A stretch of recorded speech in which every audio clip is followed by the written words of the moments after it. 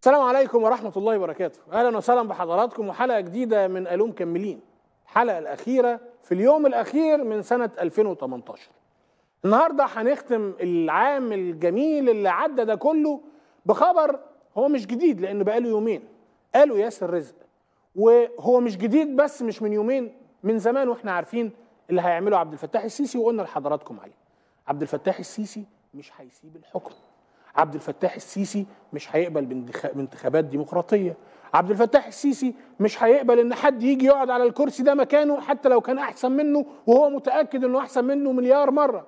عبد الفتاح السيسي مش هيخلي كفاءة وطنية محترمة تحكم مصر تتقدم بيها تعمل نوع من الحريات والتطور الاقتصادي والثقافي وال- والسياسي والاجتماعي.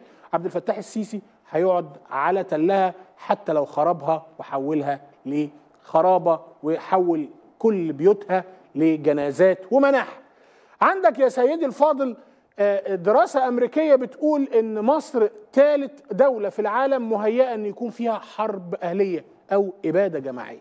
إبادة جماعية إن السلطة تجيب سلاحها وتيجي تقتل مجموعة من الناس. مصر مهيئة، مصر في البؤرة دي، مصر رقم ثلاثة أو أربعة على العالم اللي فيها احتمالية الإبادة الجماعية في 2019.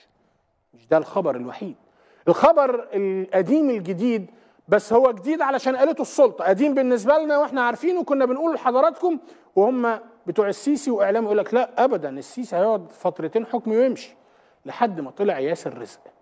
ياسر رزق كتب مقال مهم جدا.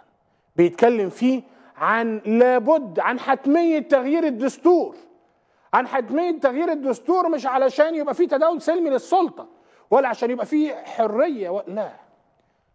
التغيير اللي قصده ياسر رزق هو تبديل الدستور عشان تمديد فترة وجود عبد الفتاح السيسي.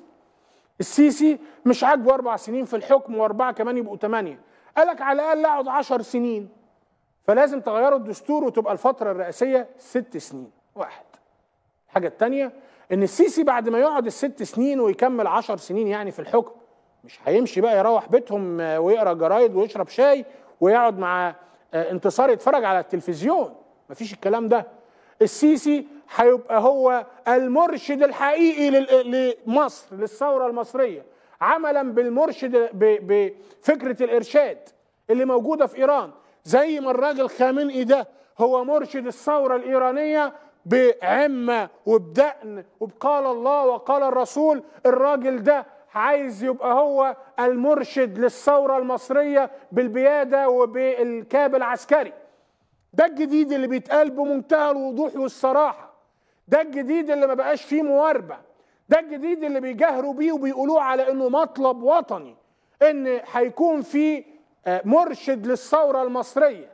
هم طبعا ولا مؤاخذة قصدهم على 30 يونيو. وياسر رزق بيقول لك لا مؤاخذة برضو السيسي هو اللي عرض نفسه للخطر وحط إيده على لا مؤاخذه كفه ووقف قدام الناس وقال البيان علشان كده من حقه يفضل هو آه، المرشد للثورة المصرية. تعالوا نشوف ياسر رزق. قال إيه ياسر رزق؟ لما نقول ياسر رزق يعني السيسي. لأن ياسر هو اللي بيكتب للسيسي. ياسر من الناس اللي بتفكر للسيسي.